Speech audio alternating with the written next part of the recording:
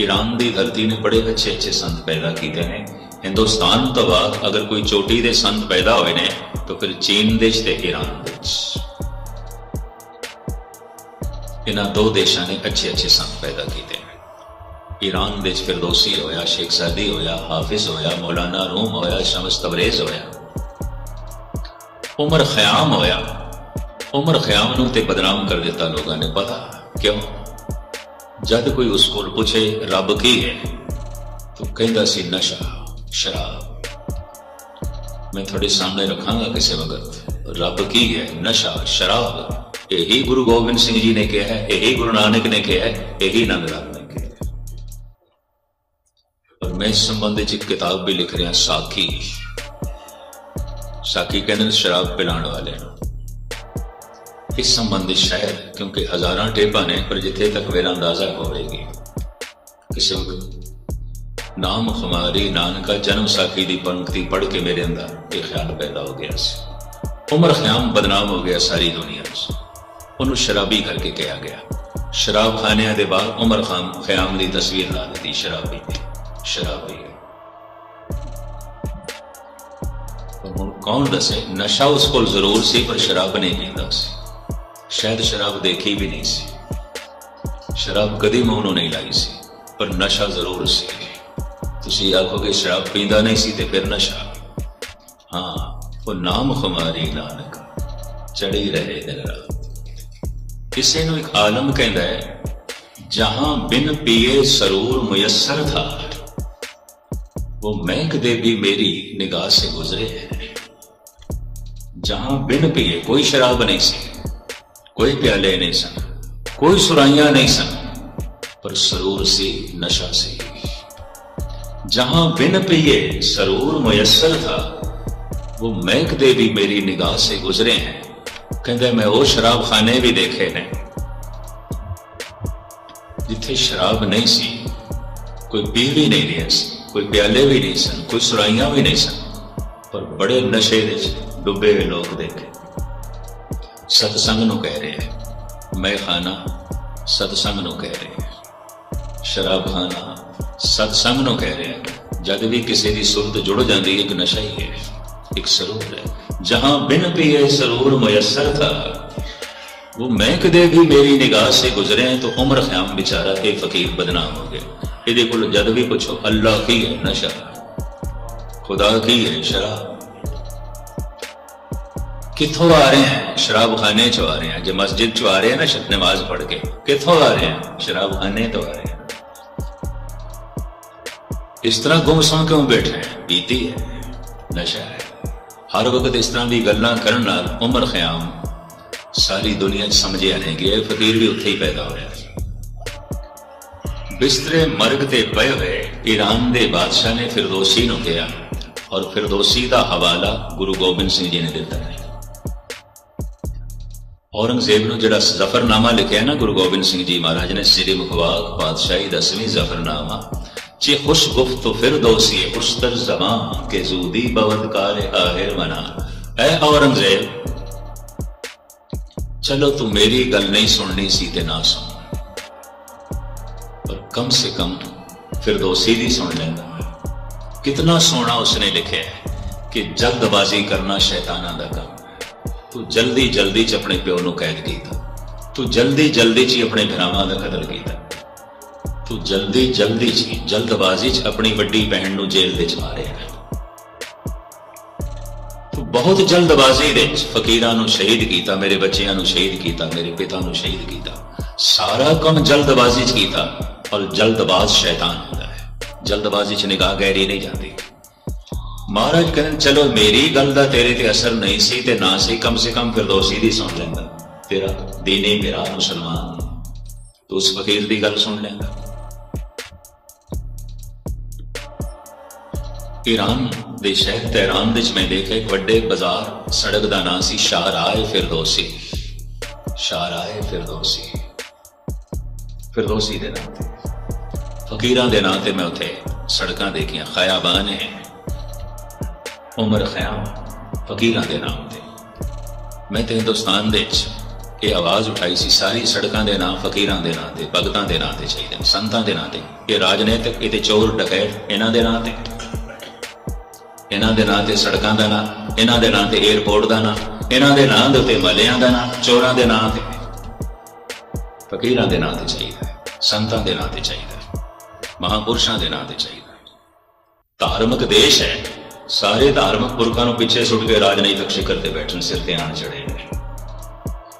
ਖੈਰ, ਇੱਥੇ ਵੀ ਵਿਚਾਰ ਗੱਲ ਆ ਗਈ। ਈਰਾਨ ਦੇ ਸ਼ਹਿਨशाह ਨੇ ਫਿਰਦੌਸੀ ਨੂੰ ਆਖਿਆ, ਮੈਂ ਚਾਹਨਾ ਮਰਨ ਤੋਂ ਪਹਿਲੇ ਸਾਰੇ ਸੰਸਾਰ ਦਾ ਜੋ ਖਾਸ ਇਤਿਹਾਸ ਹੈ, ਇਹ ਮੈਂ ਪੜ੍ਹ ਲਾਂ ਤੂੰ ਮਿਹਨਤ ਕਰੇਗਾ ਇਤਿਹਾਸ ਲਿਖਣ ਦੀ। ਸਾਰੀ ਦੁਨੀਆ ਜੋ ਖਾਸ-ਖਾਸ ਘਟਨਾਵਾਂ ਹੋਈਆਂ ਨੇ, ਖਾਸ-ਖਾਸ ਮਨੁੱਖ ਹੋਏ ਨੇ खास खास उतार चढ़ाव હોય ને तो लिख सकता है। अगर लिख सकता है तो आज ही लिखना शुरू कर। मैं पढ़ना चाहना मैं जानना चाहना फिर दोषी ने कहा, मैं लिख सकता। पर हूँ मैं ये नहीं कह सकता तुम पढ़ सकोगे कि नहीं। मैं लिख सकता। नहीं, मैं पढ़ांगा, लिखो। ਕਹਿੰਦੇ 10 ਪੋਥੀਆਂ ਦੇ ਵਿੱਚ ਇੱਕ ਸਾਲ ਮਿਹਨਤ ਕਰਕੇ ਉਹਨੇ ਇਤਿਹਾਸ ਲਿਖਿਆ 10 ਪੋਥੀਆਂ ਵਿੱਚ। ਤੇ 10 ਪੋਥੀਆਂ ਚੁੱਕ ਕੇ ਇੱਕ ਦਿਨ ਭਰੇ ਦਰਬਾਰ ਦੇ ਵਿੱਚ ਬਾਦਸ਼ਾਹ ਦੇ ਅੱਗੋਂ ਰੱਖੀਆਂ ਬਾਦਸ਼ਾਹ, ਸਲਾਮਤ। ਤੁਸੀਂ ਕਿਹਾ ਸੀ ਨਾ, ਸੰਸਾਰ ਦਾ ਇਤਿਹਾਸ ਲਿਖੋ, ਦੁਨੀਆ ਦਾ ਮੈਂ ਲਿਖਿਆ ਜੋ ਜੋ ਖਾਸ ਘਟਨਾਵਾਂ ਹੋਈਆਂ ਜੋ ਜੋ ਖਾਸ ਮਨੁੱਖ ਹੋਏ ਨੇ ਜਿਹੜੇ ਜਿਹੜੇ ਦੁਨੀਆ 'ਚ ਉਤਾਰ ਚੜਾਅ ਹੋਏ ਨੇ ਤੇ ਜਿਤਨਿਆਂ ਦੀ ਮੈਨੂੰ ਜਾਣਕਾਰੀ ਤੇ ਸਮਝ ਸੀ, ਮੈਂ ਲਿਖਿਆ ਪੜੋ ਖਿਜ ਗਿਆ ਬਾਦਸ਼ਾਹ। ਕਹਿੰਦਾ ਹੈ, ਐਨੇ ਗ੍ਰੰਥ, ਇੰਨੀਆਂ ਪੋਥੀਆਂ, ਇਤਨਾ ਮੇਰੇ ਕੋਲ ਵਕਤ ਕਿੱਥੇ ਹੈ? ਇਹ ਛੋਟਾ ਕਰ, ਛੋਟਾ ਕਰਕੇ ਲਿਆ। ਇਹ ਤੇ ਤੂੰ ਇਤਨਾ ਅੰਬਾਰ ਚੁੱਕ ਲਿਆਂਦਾ ਇਤਨਾ ਅੰਬਾਰ, ਕੌਣ ਪੜੇ ਇਤਨਾ ਮੇਰੇ ਕੋਲ ਵਕਤ ਨਹੀਂ ਹੈ। ਫਿਰ ਦੋਸੀ ਕਹਿੰਦੇ ਜਹਾਂ ਬਨਾ ਮੈਂ ਕਿਹਾ ਸੀ ਨਾ ਮੈਂ ਲਿਖ ਸਕਦਾ ਮੈਂ ਲਿਖ ਸਕਦਾ ਪਰ ਮੈਨੂੰ ਉਮੀਦ ਨਹੀਂ ਤੁਸੀਂ ਪੜ ਸਕੋਗੇ ਕਿ ਨਹੀਂ ਨਹੀਂ ਛੋਟਾ ਕਰਕੇ ਲਿਆ ਮੈਂ ਪੜਾਂਗਾ ਕਹਿੰਦੇ ਨੇ ਵਿਚਾਰੇ ਨੇ 6 ਮਹੀਨੇ ਮਿਹਨਤ ਕੀਤੀ ਚਾਰ ਪੋਥੀਆਂ ਚ ਲਿਖ ਕੇ ਲਿਆ 6 ਵਿੱਚੋਂ ਕੱਢ ਦਿੱਤੀ ਮਹਿਲਾਂ 'ਚ ਬੈਠਾ ਸੀ ਫਿਰ ਦੋਸੀ ਪਹੁੰਚਿਆ ਸ਼ਾਹੀ ਫਕੀਰ ਸੀ ਠੀਕ ਹੈ, ਸਤਕਾਰ ਕੀਤਾ, ਬਿਠਾਇਆ, ਚਾਰ ਪੋਥੀਆਂ ਅੱਗੇ ਰੱਖੀਆਂ। ਬਾਦਸ਼ਾਹ ਕਹਿੰਦਾ, ਨਹੀਂ, ਫਕੀਰ ਇਹ ਵੀ ਜ਼ਿਆਦਾ ਬਹੁਤ ਜ਼ਿਆਦਾ ਇਤਨਾ ਮੇਰੇ ਕੋਲ ਵਕਤ ਕਿੱਥੇ ਹੈ? ਇਤਨੀ ਸਿਰ ਖਪਾਈ ਕਰਨਾ ਇਹ ਬਹੁਤ ਜ਼ਿਆਦਾ ਹੈ, ਬਹੁਤ ਜ਼ਿਆਦਾ ਹੈ। ਤੂੰ ਹੋਰ ਛੋਟਾ ਕਰ, ਹੋਰ ਛੋਟਾ ਕਰ, ਤਾਂ ਕਿ ਥੋੜੇ ਜਿਹਾ ਸਮੇਂ 'ਚ ਮੈਂ ਸਾਰੀ ਦੁਨੀਆ ਨੂੰ ਜਾਣ ਜਾਵਾਂ। ਕਹਿੰਦੇ ਨੇ, ਇੱਕ ਗ੍ਰੰਥ ਦਾ ਰੂਪ ਬਣਾਇਆ ਉਸਨੇ, ਇੱਕ ਕਿਤਾਬ ਦਾ। ਇੱਕ ਪੋਥੀ ਦਾ। ਪਰ ਫਿਰ ਵੀ ਉਸਦੇ 6 ਮਹੀਨੇ ਲੰਘ ਗਏ ਚਾਰਾਂ ਨੂੰ ਇੱਕ ਕਰਨ ਦੇ 6 ਮਹੀਨੇ ਲੱਗੇ। ਔਰ ਫਿਰ ਦੋਸੀ ਖੁਦ ਲਿਖਦਾ ਹੈ, ਮੈਂ ਚਾਰਾਂ ਨੂੰ ਜਦ ਇੱਕ ਕੀਤਾ ਹੈ, ਸਿਆਹੀ ਨਾਲ ਨਹੀਂ ਲਿਖਿਆ, ਆਪਣੇ ਖੂਨ ਨਾਲ ਲਿਖਿਆ। ਜਦ ਮੈਂ ਦਸਾਂ ਨੂੰ ਚਾਰਾਂ ਵਿੱਚ ਕੀਤਾ, ਤਾਂ ਮੈਂ ਸਿਆਹੀ ਨਾਲ ਨਹੀਂ ਲਿਖਿਆ, ਮੈਂ ਆਪਣੇ ਹੰਝੂਆਂ ਨਾਲ ਲਿਖਿਆ। ਵਿੱਚੋਂ ਮੈਨੂੰ ਰੋ ਰੋ ਕੇ ਕਈ ਨੁਕਤੇ ਕੱਢਣੇ ਪਏ। ਰੋ ਰੋ ਕੇ। ਹੁਣ ਚਾਰਾਂ ਨੂੰ ਮੈਂ ਇੱਕ ਕੀਤਾ, ਆਪਣੇ ਖੂਨ ਨਾਲ ਕੀਤਾ। ਬਹੁਤ ਜਾਨ ਲੜਾਣੀ ਪਈ ਬੜੀ ਸਿਰ ਖਪਾਈ ਕਰਨੀ ਬੜਾ ਅਫਸੋਸ ਤੇ ਰੰਜ ਹੋਇਆ, ਦੁੱਖ ਹੋਇਆ ਕਿ ਦੁਨੀਆ ਦੇ ਸੰਪੰਨ ਧਨਾੜ ਬੰਦੇ ਕਿਤਨੇ ਮੂਰਖ ਹੁੰਦੇ ਨੇ, ਕਿਤਨੇ ਮੂਰਖ ਹੁੰਦੇ ਨੇ। ਮਾਇਆ ਦਾਰੀ ਅੰਨਾ ਬੋਲ। ਬੰਦਾ ਜਿਹੜਾ ਬਹੁਤ ਮਸਰੂਫ ਹੋਵੇਗਾ ਨਾ, ਉਹਦੇ ਕੋਲ ਧਨ ਹੋ ਸਕਦਾ, ਅਕਲ ਨਹੀਂ ਹੋਵੇਗੀ। ਇਹ ਵੀ ਮੈਂ ਉਸ ਕਰਦਾ, ਨਹੀਂ ਹੋਵੇਗੀ। 99% ਧਨਵਾਨਾਂ ਦੇ ਕੋਲ ਅਕਲ ਨਹੀਂ ਆਉਂਦੀ। ਗੋਬਰ ਗਣੇਸ਼ ਹੁੰਦੇ ਨੇ ਬਿਲਕੁਲ। ਉਹਨਾਂ ਦੇ ਬੱਚੇ ਵੀ ਕਈ ਦਫਾ ਗੋਬਰ ਗਣੇਸ਼ ਦੇਖੇ ਗਏ ਨੇ। ਕੁਝ ਵੀ ਨਹੀਂ। ਜ਼ਿੰਦਗੀ 'ਚ ਜਿੰਨੇ ਚਿਰ ਤੱਕ ਚੁਣੌਤੀ ਨਾ ਹੋਵੇ, ਸੰਘਰਸ਼ ਨਾ ਹੋਵੇ, ਪ੍ਰਤਿਭਾ ਪੈਦਾ ਹੀ ਨਹੀਂ ਹੁੰਦੀ ਜਮਾਲ ਪੈਦਾ ਹੀ ਨਹੀਂ ਇਹ ਵੀ ਮੈਂ ਉਸ ਕਰਦਾ ਕਹਿੰਦਾ, ਹੁਣ ਨਾਲ ਲਿਖਿਆ ਇੱਕ ਗ੍ਰੰਥ ਲੈ ਕੇ ਅੱਜ ਪੇਸ਼ ਹੋਇਆ ਹੈ। ਸਭਾ ਦੇ ਦਰਬਾਰ ਦੇ ਦਰਬਾਰੀ ਬੜੇ ਖੁਸ਼। ਪਰ ਬਾਦਸ਼ਾਹ ਫਿਰ ਔਖਾ ਹੋਇਆ। ਕਹਿੰਦਾ ਫਿਰਦੌਸੀ ਇੱਕ ਦਾ ਰੂਪ ਤੇ ਤੂੰ ਬਣਾਇਆ ਪਰ ਬਹੁਤ ਵੱਡਾ ਪੋਥਾ ਹੈ। ਇੰਨਾ ਨਹੀਂ ਮੈਂ ਬਣ ਸਕਦਾ। ਹੋਰ ਛੋਟਾ ਕਰ, ਹੋਰ ਛੋਟਾ ਕਰ। ਫਿਰ ਦੋਸੀ ਨੇ ਆਪਣਾ ਇਰਾਦਾ ਹੀ ਬਦਲ ਲਿਆ, ਨਹੀਂ ਲੱਗਣਾ ਕਿਤੇ ਮੂਰਖ ਦਾ ਮੈਂ ਸ਼ਾਹੀ ਫਕੀਰ ਹਾਂ। ਠੀਕ ਹੈ, ਸ਼ਾਹੀ ਦਰਬਾਰ ਦਾ ਜਿਵੇਂ ਹਿੰਦੁਸਤਾਨ ਵਿੱਚ ਰਾਜੇ ਮਹਾਰਾਜੇ ਰਾਜਗੁਰੂ ਰੱਖਦੇ ਸਨ, ਇਸ ਤਰ੍ਹਾਂ ਹੀ ਦਰਬਾਰੀ ਫਕੀਰ ਸੀ, ਸ਼ਾਹੀ ਫਕੀਰ ਸੀ। ਪਰ ਫਿਰ ਦੋਸੀ ਕਹਿੰਦਾ, ਪਹਿਲੀ ਦਫਾ ਪਤਾ ਚੱਲਿਆ, ਸਮਝਦਾ ਤੇ ਸੀ। ਇੱਕ ਮੂਰਖ ਦੇ ਦਰਬਾਰ ਦਾ ਮੈਂ ਫਕੀਰ ਹਾਂ। ਮੈਂ ਸਮਝਦਾ ਤੇ ਸੀ, ਅੱਜ ਵੇਖਿਆ ਇਤਨੀ ਜ਼ਿੰਦਗੀ ਮੈਂ ਇੱਕ ਮੂਰਖ ਦੇ ਕਦਮਾਂ 'ਚ ਕੱਟੀ ਅੰਦਰੋਂ ਇਰਾਦਾ ਬਦਲ ਲਿਆ, ਨਹੀਂ, ਛੋਟਾ ਨਹੀਂ ਕਰਨਾ। ਹੋਇਆ ਕਿ? ਅੱਜ ਫਿਰ ਦੇ ਕੰਨਾਂ 'ਚ ਕਿਸੇ ਨੇ ਖਬਰ ਪਾਈ, ਸਾਲ 6 ਮਹੀਨੇ ਬਾਦਸ਼ਾਹ ਤੇ ਬਿਸਤਰੇ ਮਰਗ ਤੇ ਪਿਆ ਤੇ ਤੁਹਾਨੂੰ ਯਾਦ ਕਰਦਾ ਸ਼ਾਹੀ ਤਬੀਬਾਂ ਨੇ ਜਵਾਬ ਦੇ ਦਿੱਤਾ। ਉਹਦੇ ਜਾ ਰਹੇ ਹੈ, ਦਮ ਤੋੜ ਰਹੇ ਤੁਹਾਨੂੰ ਯਾਦ ਕਰਦਾ ਹੈ। ਤੁਸੀਂ ਫਕੀਰ ਹੋ ਨਾ, ਤੁਹਾਨੂੰ ਯਾਦ ਕਰਦਾ ਹੈ।